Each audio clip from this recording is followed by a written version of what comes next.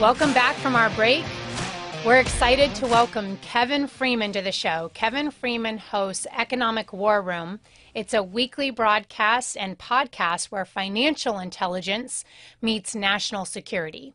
Economic War Room is a financial news show that provides new market insights to the challenges America and Wall Street face daily. Kevin Freeman has spent decades studying the intersection of economics and national security, and today he's going to join us to talk about the founder's hidden plan for economic liberty. Kevin, welcome to Stand. We're so glad to have you with us.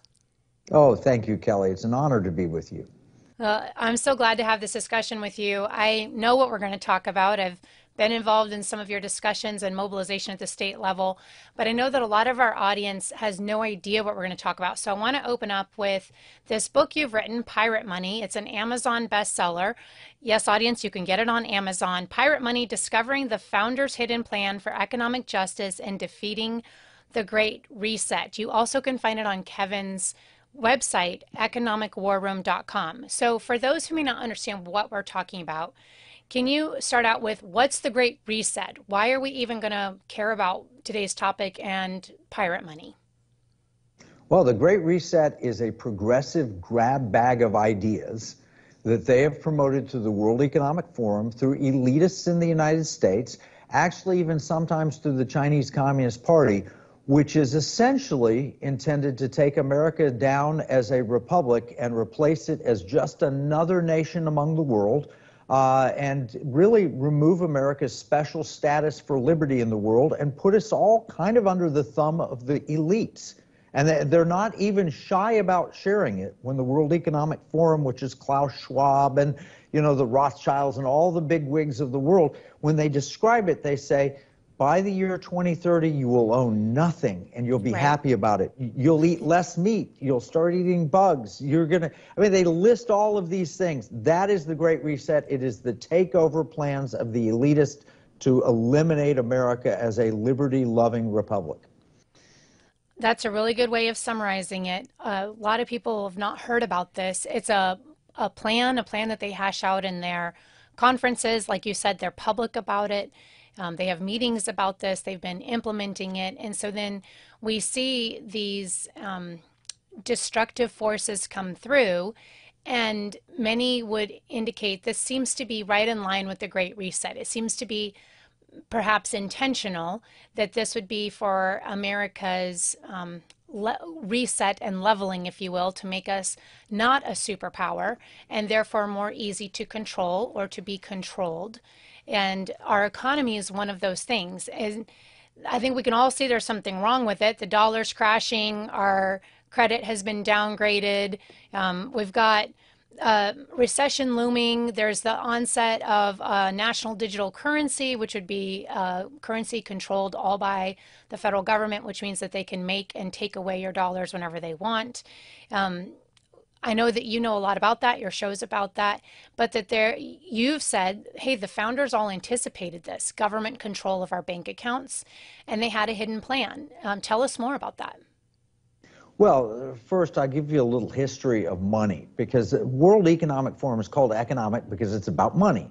The sure. Bible talks about money. You know, Luke 16, 11, uh, Jesus said, if you can't get the money part right, if you're not faithful with your unrighteous mammon, no one will trust you with true riches. And unfortunately, Americans are obsessed with money. And that's, you know, we are one quarter of the world's economy with 4% of the world's population. So the World Economic Forum says, hey, that's not fair. It's not equitable. We've got to level all that out. But funny how at the top of it, they seem to be in control. And so what they're talking about is taking control in those areas with money, and the founders actually knew that elitists are the same, whether it's the Brit, the British monarchy of the uh, of the 17th and 18th century, or whether it is the elitist aristocrats, modern aristocrats on Wall Street and in Davos around the world today. They knew that they would take and control people with money. So that that's the that's the baseline premise of it. Right. What what they what they did though is they put in the Constitution a secret plan that we would not go into paper money. I have right here This is a Continental produced in 1776. Uh, it is a $4 Continental from wow. Philadelphia. They produced this and they paid for the war with it. And George Washington once said, A wagon load full of Continentals would not buy a wagon full of supplies because even though it was supposed to be backed by four Spanish mill dollars, and this is an actual Spanish mill wow, dollar, it's 0.77 ounces troy ounces of fine silver. Uh, even though it was supposed to be backed by four of those, they didn't have a penny to back up their currency. And the net result was massive inflation during the Revolutionary War, a collapsing wow. economy, great challenges. And that's why at Valley Forge, the soldiers, you know, a third of them didn't even have shoes. They wore burlap sacks at Valley Forge with bleeding feet crossing to go to the Delaware. We almost did not survive as a nation because we had unbacked paper money. Net result, founders hated it. Elitists, on the other hand, love it. They love a printing press where they can control people with money, mm. and their their goal is to take away our paper dollars, replace it with this central bank digital currency, to where it's all electronic. You don't even have paper money and they can make it turn it on or off at will. They can take it away from you and give it to somebody else. They can tell you you're you're a bad person because you're buying gasoline, and so your your money doesn't work to buy gasoline, but it can buy an electric car, or it can buy bugs to eat, or if you're if you're too heavy and have too high a cholesterol, you can't buy a cheeseburger, but you can buy a salad. It is even such, Kelly, Wow. That when they talked about this recently at the G20 meeting, they had an interview, and they and one lady came out and said, "Can you imagine the good we can do with this?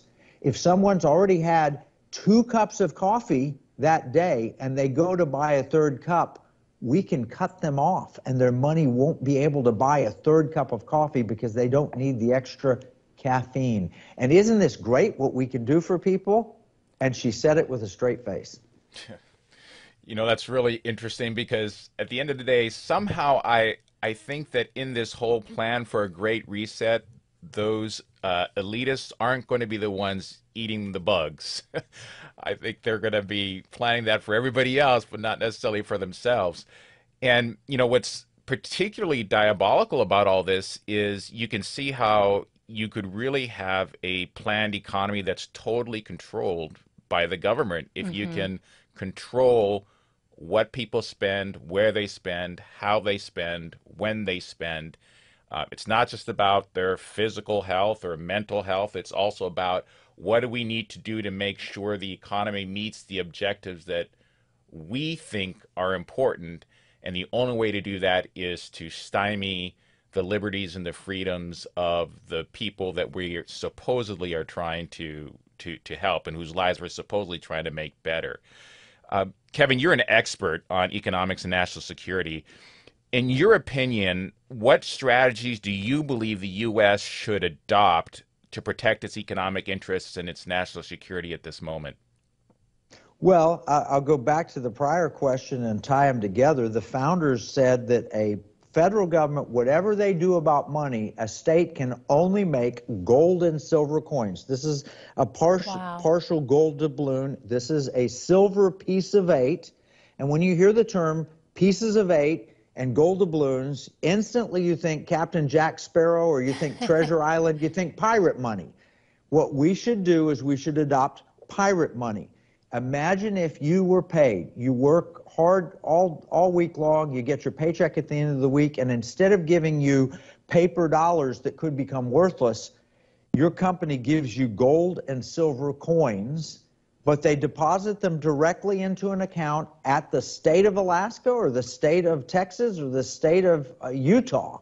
They deposit them directly, and then they give you something like this a debit card that you can use that you mm. can spend in ounces of gold and silver or you could write a check on it or you could show up and say give me my coin. I want i want my bullion out. That's the premise of the book pirate money. It defeats the great reset. It, it takes us off of this debt trap that we're on. It's optional, it's individual, it's offered at the state level, it's constitutional, it's biblical, it meets all of the requirements. So, to protect the interests of the United States, we need to get off of this in hyperinflationary schedule that someday will take us to where Zimbabwe was.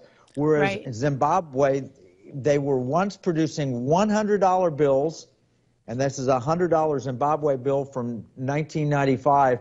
And by 2008, they were producing $100 trillion oh bills.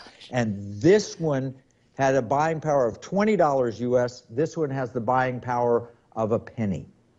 That's how what hyperinflation does. So we need to return to what the founders said, get rid of this crazy paper money system and 33.5 trillion dollars in debt and go back to real money, gold and silver on a state-based level, hmm. optional to individuals.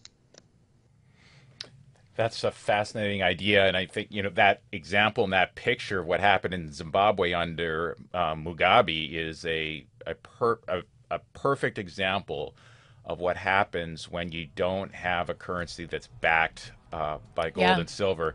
Uh, let's dig into this a little bit more uh, after this break. We're on stand with Kevin Freeman, author of Pirate Money. You can pick it up on Amazon or on his website, like Kelly said, at economicwarroom.com. We'll be back in a moment. Stand by.